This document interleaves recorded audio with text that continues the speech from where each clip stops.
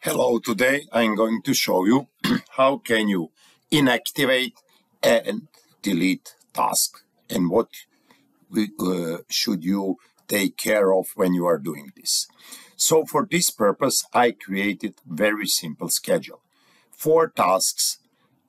Task A has one day duration, task B two days, three days, task C, and four days, task D. And I make a simple schedule with finish to start duration. Now let's say that for some reason you don't need task B. So you want to make it inactive. For that purpose, I will choose this task. I will go to task tab. Okay. And I will hit here inactive. Be aware that this task number B is now great and the task C goes to start as ta sta uh, task number B was supposed to start it. So once again, let me do it the same thing with task C. If I want to in, uh, make inactive task C and task B was supposed to start uh, at 22nd of March, in a, if I make task C inactive, okay, then task number D task D with name D will start immediately when task C, task C was supposed to start. So at the same time, once again, let me, okay, so in that per, in, uh, when everything was normal, task D was supposed to start at 29th of March and task C at 24th of March. When I make it inactive, you will see that task D will, will start when task C was supposed to start. But this is not enough. The schedule is not reestablished by Microsoft Project automatically. So let's say that you want to make task C inactive, but you want to, uh, to make task D to have a predecessor task B. For that purpose, I suggest then when you have, let's let me add some other task, A and F. And I will put here, for example, five days and let's say three days, who cares? And I will make task C, which I want to deactivate as a predecessor. So let's say to start, start, and let's say to finish, finish. So you can see the task E, task F, and task task uh, task E and uh, F, they have uh, both task 2 as a predecessor and also task 3. If I want to deactivate task number 2, we, when I deactivate them, so everything will be moved. I don't want to do that. First of all, what I want to do is, once again, inactive, you will see that this task will be moved and this task is also finished to finish with, with task number two. But let's say that I want to inactive task number two, task number uh, two, which is task B, but I want to replace uh, all predecessors with task number one. So for that purpose, the best way before inactive task, the inactive ta task is go to predecessors field, hit here on this error and deactivate select all and choose every single task which has two in it. So every single tasks which have predecessor task number two. And I will say OK here.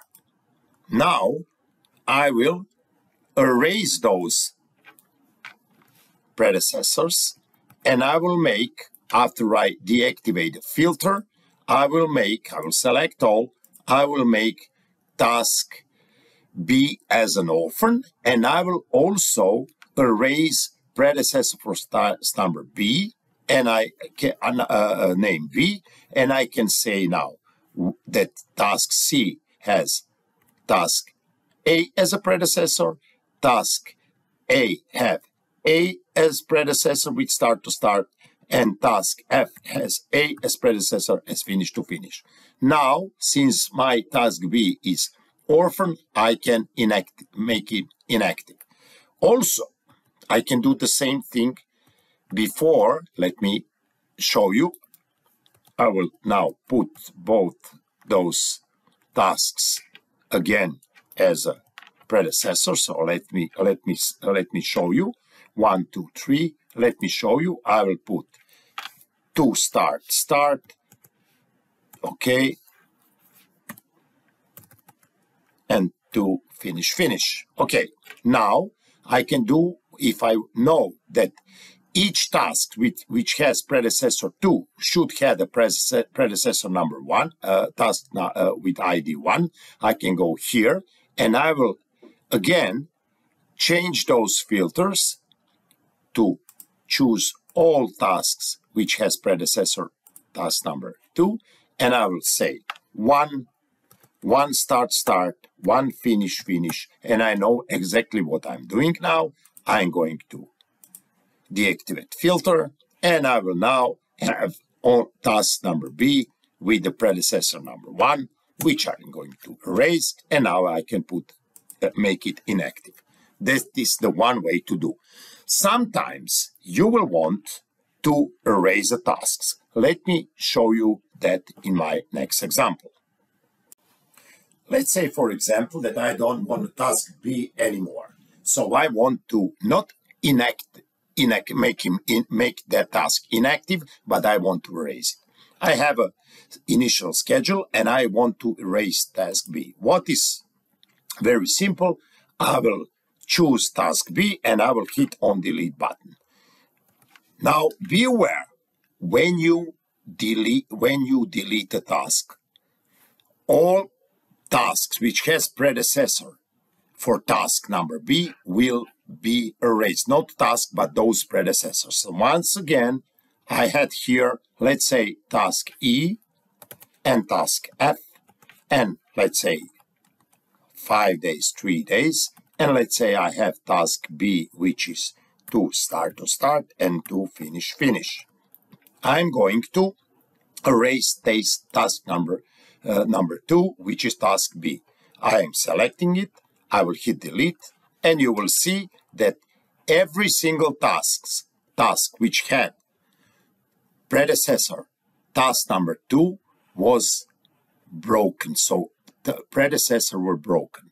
So what you should do, you should now reestablish the path. So let's say I can put here one, one start, start, one finish, finish, or I can do one thing which is much more convenient.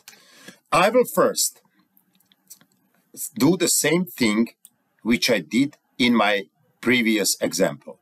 I will now know, I now know that I should erase task number two. So I'm going to choose each and every task which has task two as predecessor, okay?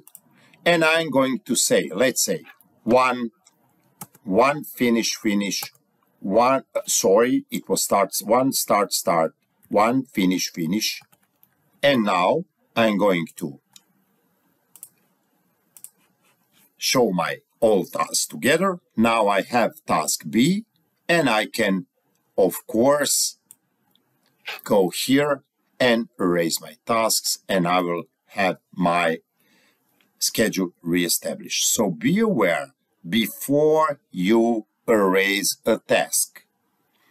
Be aware that all tasks in the schedule which had predecessor to, uh, uh, uh, to the task which has to be deleted, all those predecessor will be erased. So you will have, if you have a large task list, you will have a hard work before you establish a schedule again. So my best, uh, my best advice is before you hit delete button, okay?